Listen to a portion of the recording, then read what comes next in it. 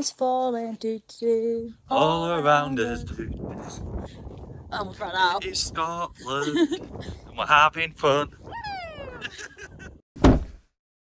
We've bought what's left of a falling down farm in Scotland with around 20 acres of land, and together we're trying to put it all back together again into a beautiful family home and in the process share it with you guys. If you never want to miss an update, hit the subscribe button and that bell icon. But for now, let's see what we got up to this time. Right, Nugget. Yeah, I was tired. Yeah, Yeah. gonna be okay. Yeah. Right. Anthracite. Anthracite. It's always going to be a tricky one, isn't it? Why don't get this? Come with me. Coming. Oh, it's fine. Yeah? Yeah, because this um, where the slope.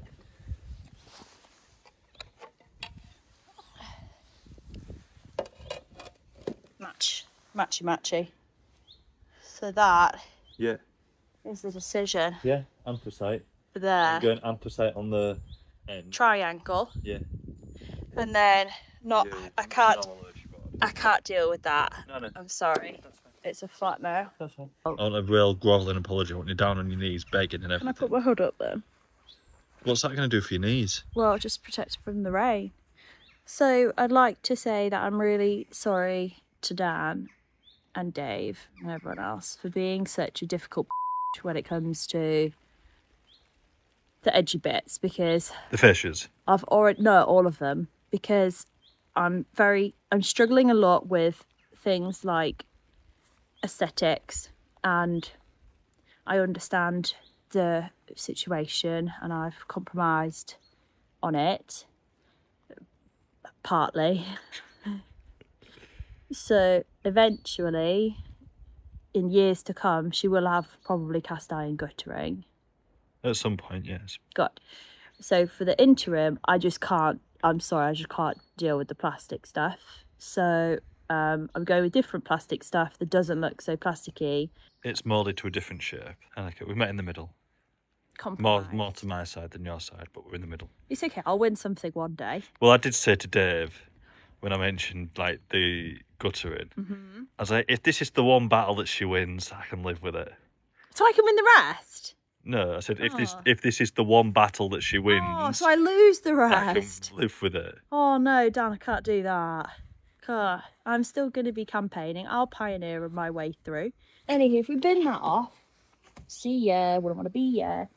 They're close enough together for me to be more than happy. So Yeah. it would look like an extension of the roof line in a weird way. It just blends it a little bit better than it is. It- I mean, at the same time, we can't really get angry about something not looking like it's in keeping because the whole of that box isn't in keeping. No, So we're just gonna try and blend it maybe a little bit more perhaps than it is. Or maybe- we've we've got ideas for that, haven't we? Which we'll cover off at a I'm later date. hoping that they'll, they'll work. So it, it won't. We're not going to make it try and look like it was part, but we're also not going to try and make it look like it sits out like a sore thumb. You know, How high can you jump? not high today. No, I'm feeling it. Imagine if I, you jumped just when you was in mid-air and pushed you so you ended up down the bottom of the hill. It'd be fun, that wouldn't it? That would be awful. That would be really Quite fun. Just hope that you wouldn't land in any nails or anything. It'd be fun if it was you. Anywho, that'll do. Why not test the roof that we've had put on? If you missed the roof update, go ahead and have a check. This is what the weather was like on that day. And then obviously turned to glorious sunshine. So Dan commenced and carried on with his destruction, but not before reading the paper that was in the fireplace first. Kicking things off in the second bedroom, third bedroom, I mean, fifth bedroom. It doesn't really matter which bedroom number we're on, but this was the one that he was going to tackle this time. So of course, there's always a place to begin, and the place where we've been beginning and all of the demo stuff, well, Dan's been beginning, is all of the mouldy bits. So, those were the bits where we began, and after starting and finding a starting place, it then becomes actually quite quick to go and continue removing everything from everywhere else. We've got quite a lot of footage from this, to be fair, so we might as well just let it play through.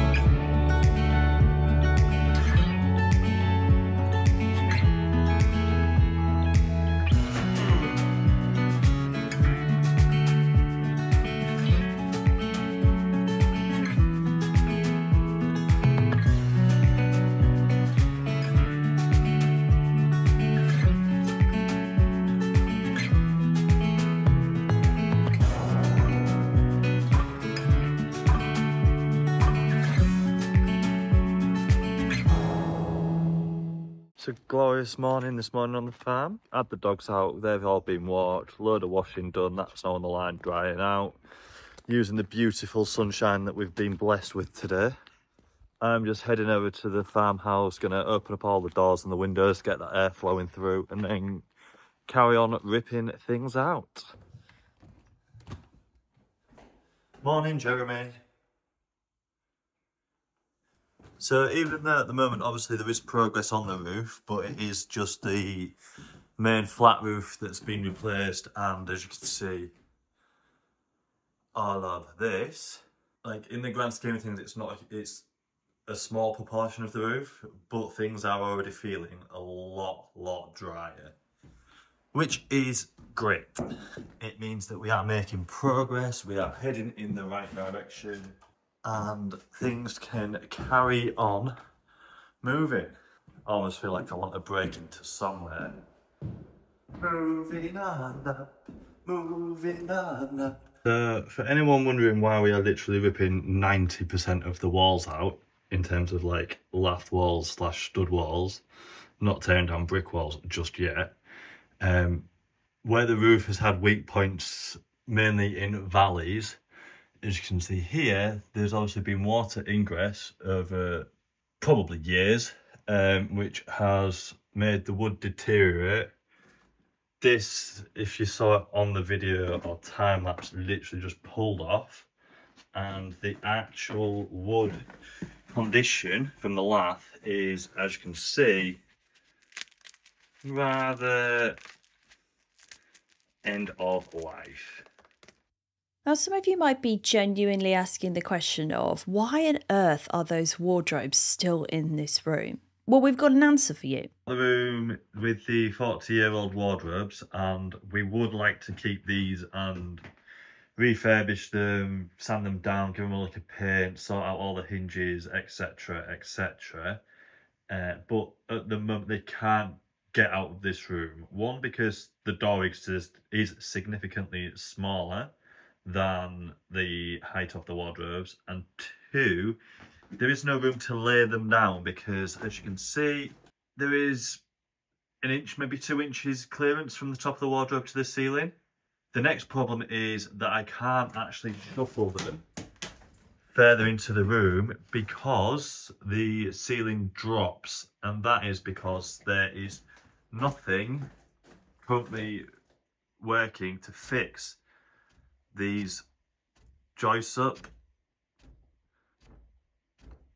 So the ceiling has dropped probably two inches from the edge of the room to the middle of the room. Plan is to continue stripping out the ceiling, take out those joists and hopefully be able to shuffle the wardrobes a bit further forward, lay them down and take them out of the room basically. You may have seen while I've been ripping this area of the wall down just how easy things are moving. That's because they are completely rotted and there is also woodworm within it. To continue taking this down, I'm going to disconnect this radiator, uh, then take the rest of the wall out, take this little bit out, and then finish off the room. Dan became a plumber for the bazillionth time on this project to just go ahead and remove this radiator off. It wasn't quite as seamless as it seemed, and then commenced and continued with clearing off that lath, but there was a surprise. In Jeremy's mum and dad are up here. One dead bird.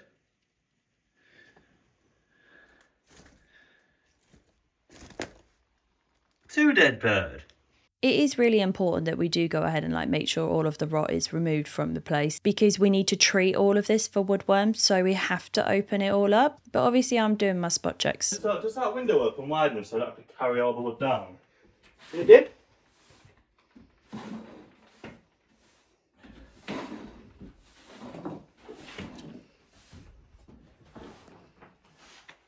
That's similar to Ivy House you're brushing. So we've taken the radiator, we'll shut the valves off. But... Look, when you talk, you're going to have to stop. Well, that's not efficient. No, I know, but I can't hear and neither can anybody else. And when it drops lower, the pressure that's still left in the system, even though it's turned off and everything, off there's still residual pressure. Oh, I don't need to see it. Causes it to trickle. I'll pick up. Okay, So I will stick the bucket. It's just a, 10. at the moment it's a temp, and I'll see if I can fix it. DIY down down. Where? Like that doesn't even touch it. I'm in my natural habitat. Yes. Look how wet that stone is. Yeah, it's it's it's a real boy. I'm a real boy. So basically, the wood doesn't touch anything, Nothing there. And that's the situation everywhere. So they're all they're all the same. You won't be able to see that particularly clearly. Every single roof timber doesn't touch the side, essentially. Um, uh, some of that is just moisture in the stone that's killed it off over 100 years. Other bits of it is because the coping stone literally lets water in from the top on every single one. Two, three. Thank you. Happy Sunday. Sunday, Sunday, Monday. Yeah, Can we make a deal? yeah. When you come over to visit me, you provide me with a beverage. Okay. Just the last little bits to come out of this room now. Last wall of lath, and then the skirting boards to come out, and then that's it. She can just dry. So, even throughout the process of taking all of this off, the house is drying and drying and drying. Still need to replace and redo the roof in this section, but realistically, progress is good.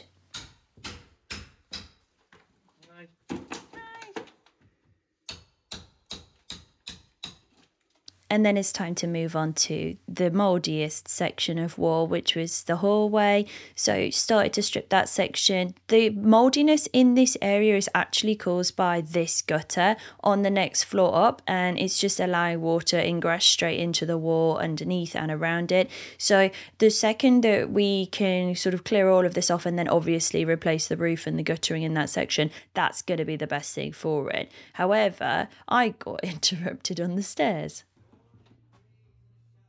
Can I just get your opinion on something? Outside? Yeah, in the main house. Yeah. Is that alright before I do it and you regret me doing it? Yeah. That's in its best condition. No. So I just want to make sure you're happy with me ripping it out today Yeah. rather than doing it and you not letting me. Great. Well, get get rid, get rid. However, not that bit. I can't promise that. Take that. I'll try my hardest not to, but I can't promise it. Can you do a bit now so that I can see what happens?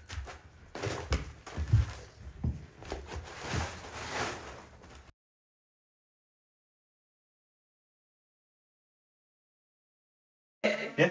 Just work around and see what happens. Because it's already kind of detached anyway. It's only here that.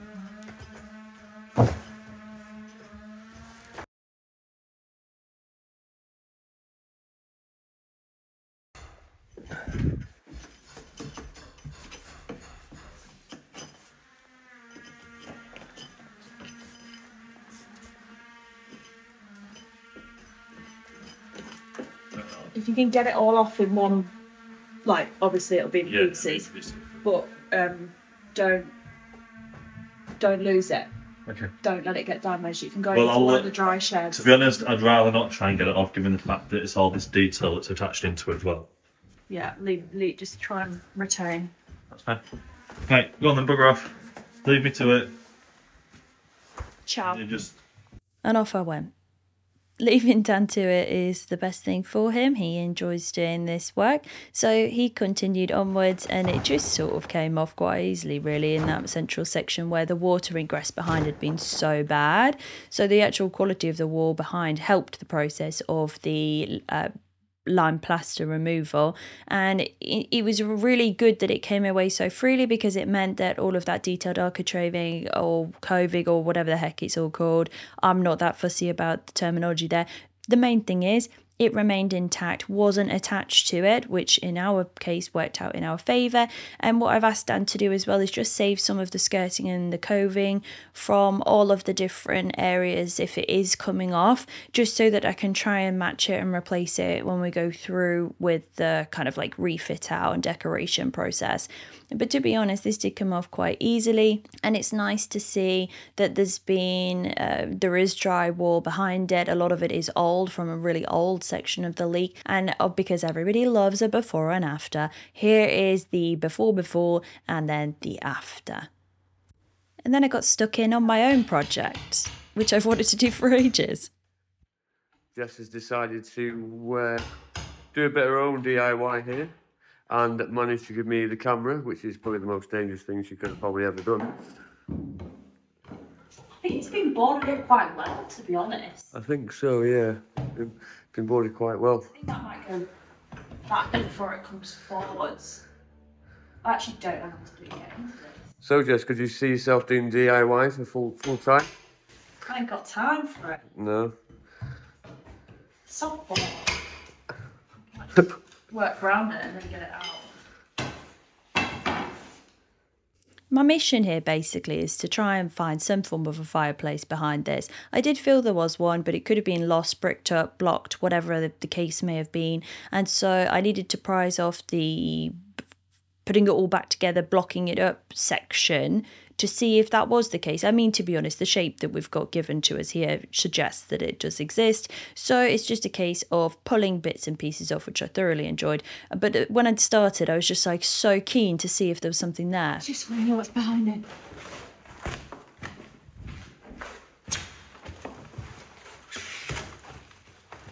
I don't really think anything could hold me back at this point.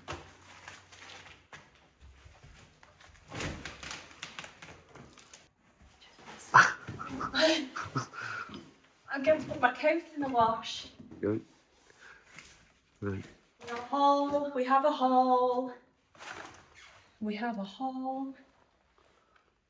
I think we have a chimney.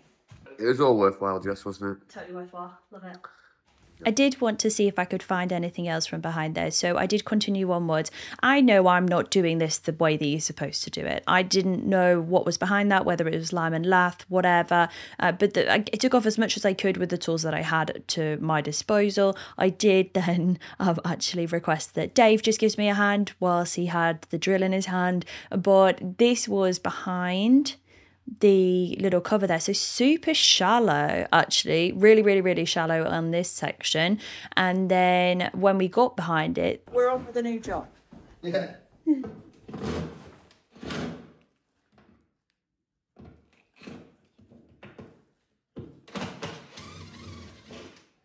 after kindly asking permission, Dave helped to remove that main box section just so that we could get through and in. If there was a fireplace or a chimney breast behind this, we were always going to put in a new log burner in this section. That was always part of the plan. So the second we knew that there was a hole, all of this was coming out anyway, regardless of what was going to happen.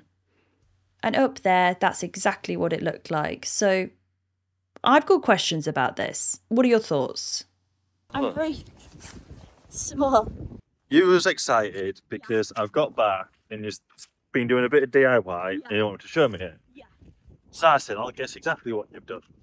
Yeah. I wasn't having a go. I guess you've exposed a fire that was behind the electrical wire in the, the library. Yeah, I mean, it's not exactly what I was expecting. Right. Let's just get your opinion. Okay. Yeah? Yeah. Are you excited? Not as excited as you, clearly. You're like a kid on blue smarties. What do you think? Oh, okay. Not what I was expecting. Is that wood? No. Oh, Yeah. what is it? Come have a look, Dan Dan. You did this by yourself? Yeah, well, yeah. I'm impressed. Dave helped me take one board off. It's very wet behind there, though. Yeah, see that. Okay. Let's see. How high have you taken it? Well, it goes all the way, Nugget. Right, so what do we need to do with that? Board it back up? No, open it needs to all dry. because it was so wet behind. All of the stuff had just turned to so- all soils coming down. Right, okay. Um, so it needs ripping out to dry, and then we can put a log burner in. But you'll probably be able to see the flue all the way. That's fine. I don't mind that. No, me neither. So that's as far as I got Okay. Arthur? because well, the wood bits are on with screws. Yeah. But Dave just ended up kicking one out to give us a hand. So that's Dave's footprint on the one that was there. Last one. Good, it is good plastering. So it felt a bit bad when I started hacking it because actually this is done quite well. So the reason why it needs to be open mainly is the left side was much wetter than the right side, and you can It's- see what's happened to the stone. Literally, this backs up my idea of literally ripping everything out over it. Yeah, because even if it looks like it's all right, it's it's not. See you next time.